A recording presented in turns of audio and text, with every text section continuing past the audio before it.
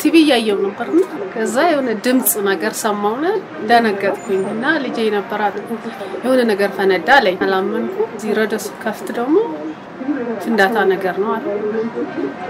ደነገጥን የሆነ ችግር ቢኖራቸው እዛ ላይ መግለጥ አልነበረባቸውም ማለት አደጋ ላይ አደጋ ማድረግ አልነበረባቸውም። በውይይትና በእንትን መናገር ነበረባቸው እንጂ እዛ ያለው ህዝብ ንጹህ ህዝብ ነው። በቃ ቦምብ ምናምን እንደዚህ ጣሉበት ምናምን ሲባል እና በጣም ተሰምቶ ነበር። አንደኛ ነገር የቤት ክራይ፣ ሁለተኛ ነገር ደግሞ በቃ ላረለ የሀገራችን ኢኮኖሚ ቅናሽ ቢሆን ምናምን ነገር የተሰማኝ ነገር የለም።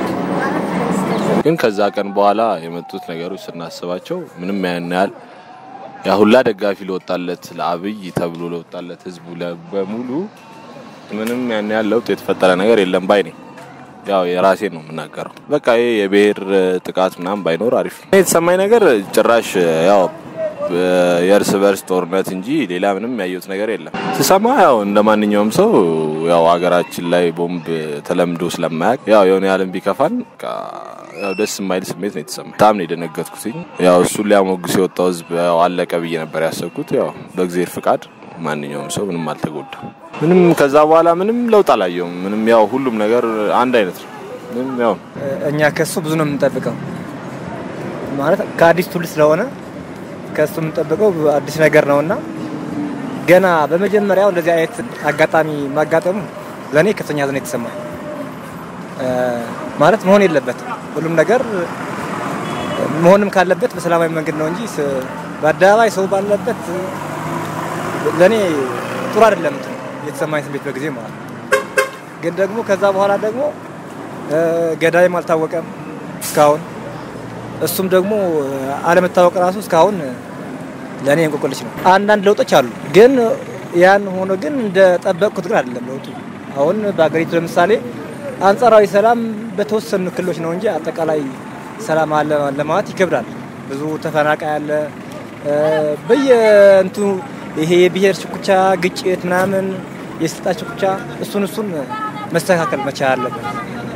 ለውጡም ያው ባለበት እንዲቀጥል ከተፈለገ ይህን ሲስተካከል ለእኔ የሚሰማኝ። መጀመሪያ ሰልፉ የወጣበት ህዝቡ የነበረውን emotion በጣም አሪፍ ስለነበር motivate ምናምን ይደረግ ነበርና እሱን support ለማድረግ ነበረ የወጣው ህዝቡ።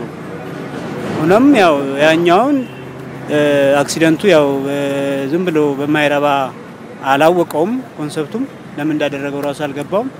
ሆነ በጣም የሚያሳዝን ነበረ በዛን ሰዓት አልሆነም እንጂ የሆነ ነገር ቢሆን ኑሮ ሳይነሱ ሳይገባው ዝም ብሎ ላደረገው ሰው በጣም ዝም ብሎ የታሪክ ጸጸት ነበረ የሚሆነውና በአጠቃላይ አሁን እንደማየው ግን ለውጡ ብዙም አይታየኝ። ምክንያቱም ለምሳሌ በፊት ስራ ነበረን፣ አሪፍ ስራ እንሰራ ነበር። በነበረው አሪፍ ማለት ሁሉም ተጠቃሚ ማድረግ አይቻልም ነበር፣ ግን ደህና ነበረ፣ እንቅስቃሴው ደህና ነበር።